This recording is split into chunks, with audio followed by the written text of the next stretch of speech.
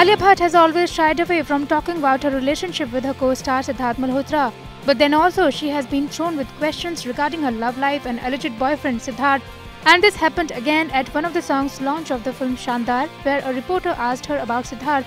On this, Alia kept quiet for a bit but then asked her co-star Shahid to rescue her. And you won't believe what Shahid did. Watch out here. शायद I always rescue you today you rescue me चलो मैं ऐसे आगे खड़ा हो जाता हूँ कौन सिद्धार्थ भाई कौन है ये सिद्धार्थ? हम नहीं जानते किसी सिद्धार्थ को। न्यूजीलैंड में तो हम डेफिनेटली किसी सिद्धार्थ को नहीं जानते भाई। सिड मार्केटिंग हमारा Sid marketing where is Sid marketing? ये भी मैं क्लियर करता हूँ। इधर आओ।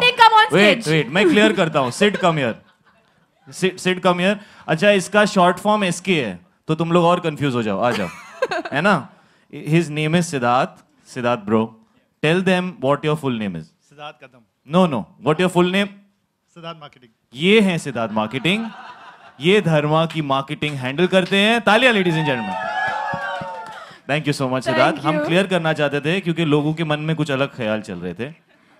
तो ये है और बाकी हम किसी सिद्धार्थ को जानते नहीं। सॉरी